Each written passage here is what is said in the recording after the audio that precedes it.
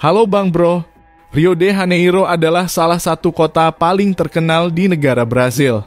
Bahkan sangat terkenalnya kota ini, Rio de Janeiro masih sering dikira sebagai ibu kota dari negara Brazil. Saat ini Rio de Janeiro adalah ibu kota dari negara bagian Rio de Janeiro. Kota ini juga merupakan kota terpadat kedua di negara Brasil setelah kota Sao Paulo. Kota Rio de Janeiro merupakan salah satu ikon menarik dari negara Brazil. Kota ini dikenal luas sebagai salah satu pusat kota terindah dan menarik di dunia. Rio de Janeiro terkenal karena keindahan pantainya serta puncak, punggung bukit, dan perbukitannya. Kota ini adalah salah satu kota yang paling banyak dikunjungi di belahan bumi selatan.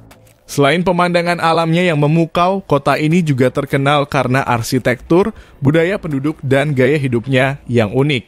Namun tahukah kamu jika di balik gemerlapnya kota Rio de Janeiro ternyata terdapat sebuah wilayah yang dikenal menjadi sarang para kriminal komplotan geng dan pengedar narkoba yang dikenal dengan wilayah Rochinha.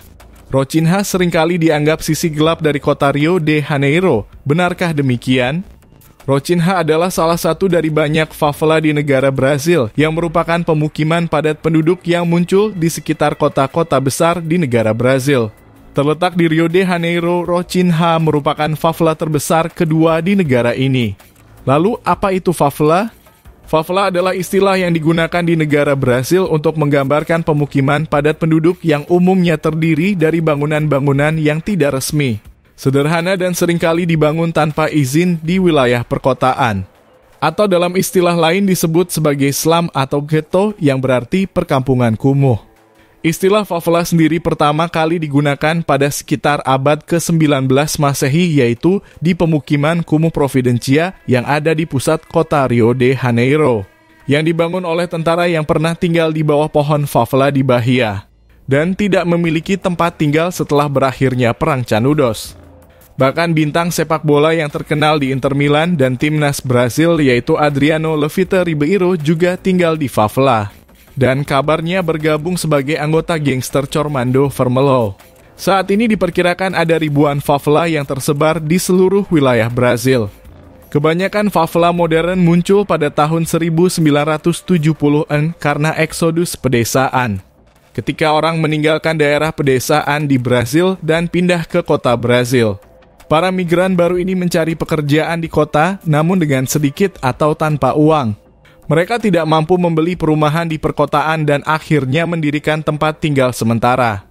Favela sering kali terkenal karena kepadatan penduduk yang tinggi, kondisi sanitasi yang buruk, kurangnya akses ke air bersih, dan layanan kesehatan yang memadai.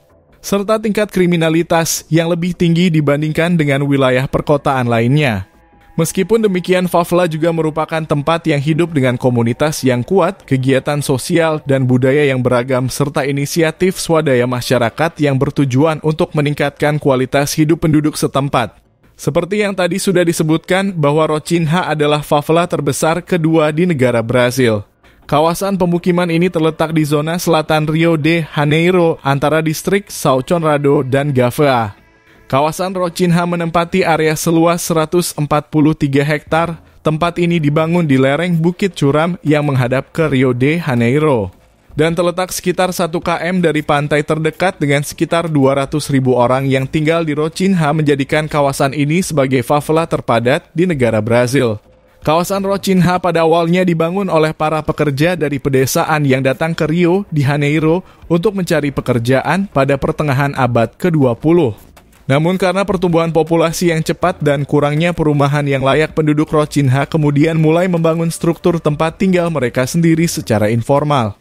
Seiring waktu favela ini terus berkembang menjadi kompleks perkotaan yang padat.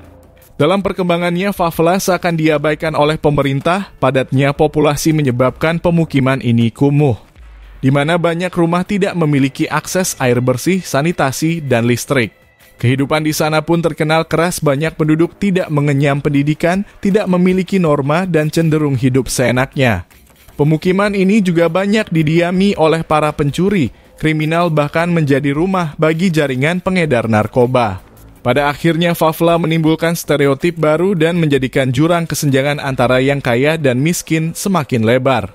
Kurangnya perhatian dari pemerintah menyebabkan Favela menjadi sasaran empuk para mafia dunia. Pada tahun 1980-an Favela menjadi salah satu pusat perdagangan ilegal Amerika Latin.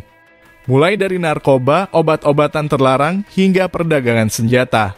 Setiap harinya jutaan dolar mengalir di Favela dan menjadikan beberapa geng ilegal memerintah Favela secara tidak resmi. Pada 2008, pemerintah Brazil menerapkan kebijakan keamanan di tempat tersebut. Sejumlah PPU atau Police Participation Units didirikan di titik yang rawan terjadi kekerasan. Namun kehadiran polisi mengancam keberadaan para geng di sana, yang bukannya menjadikan favela aman justru menyulut perang antara polisi dan geng. Perang ini diikuti dengan ketidakstabilan ekonomi dan politik yang memperburuk kondisi favela.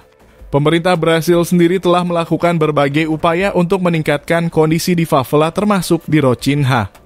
Program-program ini termasuk pembangunan infrastruktur dasar, layanan kesehatan, pendidikan, dan program perumahan.